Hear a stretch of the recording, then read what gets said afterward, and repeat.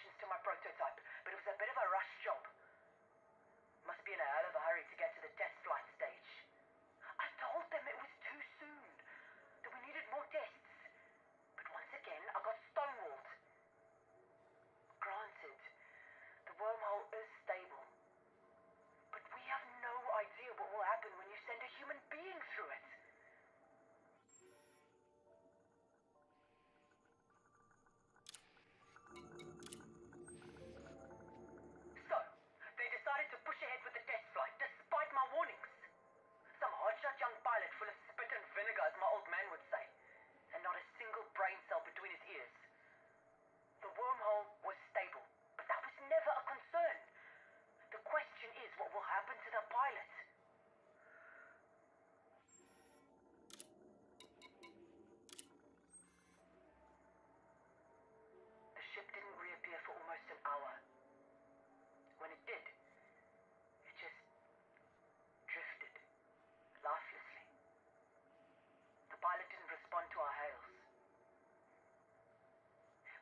the vessel and pulled open the cockpit. What I saw in there will stay with me for the rest of my life.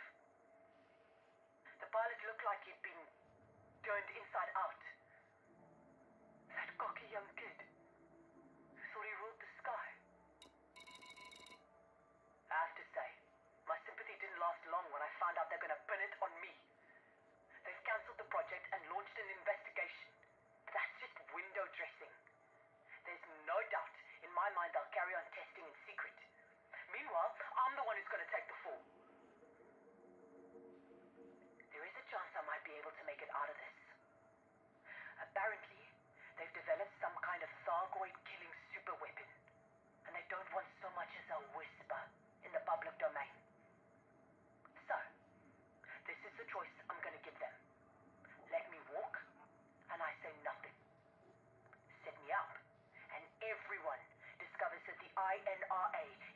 genocide business.